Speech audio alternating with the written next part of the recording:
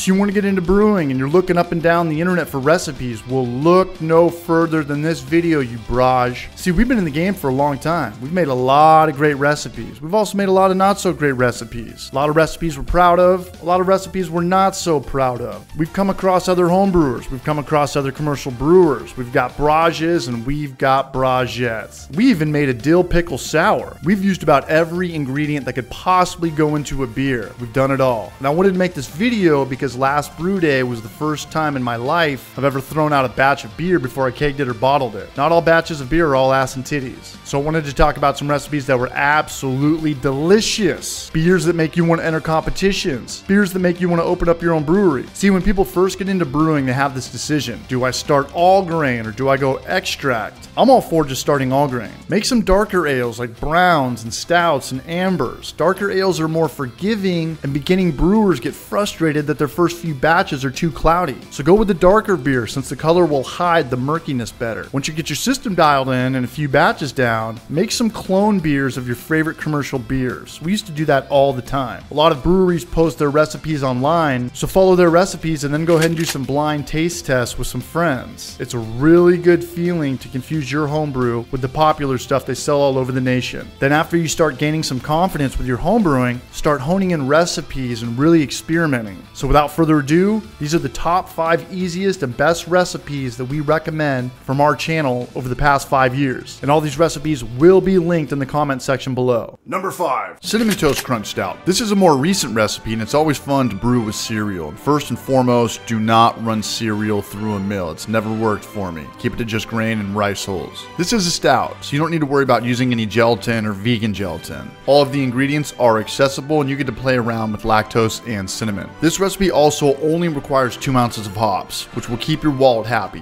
When I first started brewing, it was all about IPAs, which are extremely expensive if you're buying hops by the ounce. A good rule of thumb is to keep your first few batches of beer under 4 ounces of hops or less. If you spend 30 bucks or 50 bucks on hops for a 5 gallon batch and the batch turns out like trash, it's gonna burn you out on homebrewing. It's my job to keep people from getting burned out on homebrewing. That's my purpose in life. That's why I was born. This was also right at the time when I heard that Omega was putting this yeast in dry form, so I was able to get it off Amazon without having to worry about paying for the expensive overnight shipping for liquid yeast. There's no dry hopping, so you're drinking beer a lot faster. Longer fermentations can be a turnoff, and we were drinking this beer within a couple of days. This beer turned out perfect. It's quick yeast, so you can relax more with temperature control, and I recommend it all around for anybody who enjoys malty beers. Number four, Pink Starburst Hazy IPA. This was the last batch of beer I brewed before leaving San Diego and moving to Knoxville, Tennessee. We shot it at my buddy's brewery in South Oceanside, California, called South O Brewing. Imagine that. This video is a great introduction to hazies, and we used another white dry yeast, but this time we used Voss, which is also available on Amazon, Northern Brewer, and probably everywhere else that sells yeast. The majority of the grain bill is two row and flaked oats, but it's also got some honey and wheat malt to add some sweetness to the beer. I was on a roll with dry Kveik yeast at this time. It was the only yeast I was using, and this beer turned out exactly how I planned it through my head. I highly recommend this batch to anybody who likes hazies,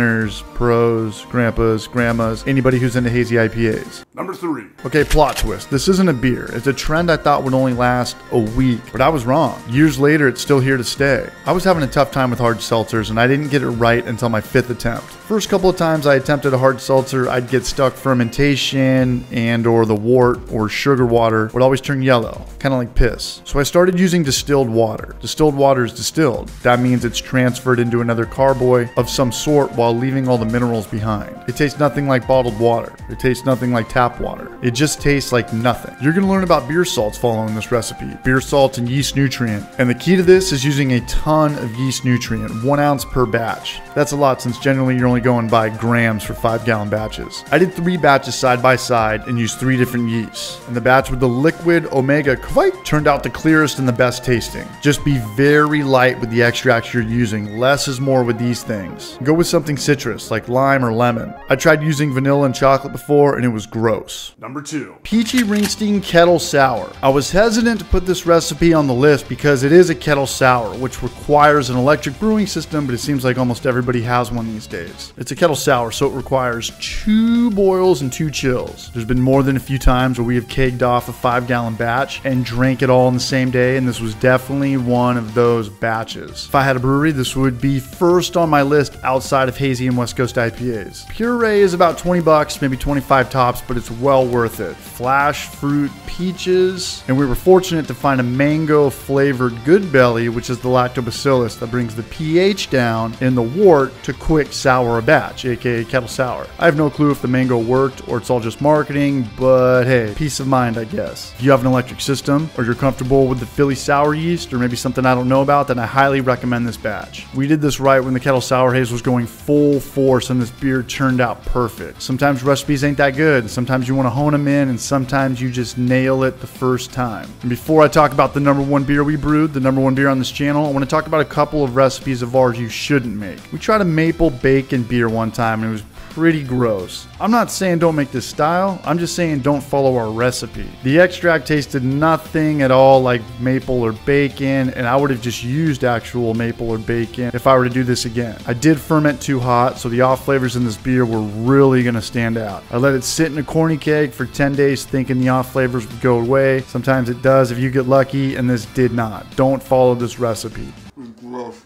it is so gross.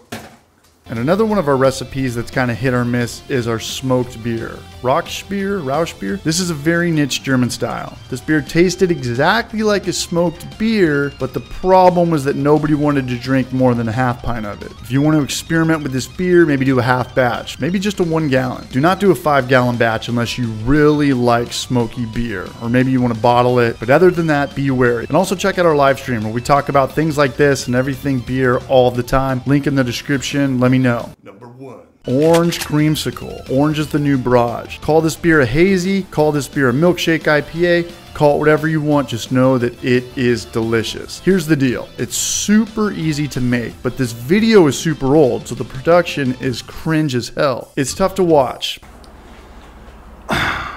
Mondo, take us home. Don't be Hey. nervous. Thanks or smile.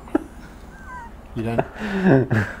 Thanks for watching. but snag the recipe in the description of that video. We use candied sweet orange peel, lactose, vanilla beans. This was when vanilla beans were super expensive. They're much cheaper now. I brewed this beer with my buddy Chris from Battle Mage Brewery in Vista. He's the owner. He was the braj who got me into brewing as well. I've had multiple people reach out to me over the years and let me know that they've brewed this batch multiple times. And if you guys want to see a recipe or want to recommend anything, then leave it in the comment section. I read all the comments every morning when I'm in my personal library. Hopefully this video helped out. Hopefully you could use a recipe. These are my top five recipes, and if you're kind of weary about brewing, you're getting into brewing, I'd brew one, two, and five. I'm sorry, five, four, and one. Cinnamon toast, pink starburst hazy, and orange is the new braj. Thank you for watching this week's video. Thank you for letting us waste your time. Cheers to eating good, and cheers to eating good, you braj.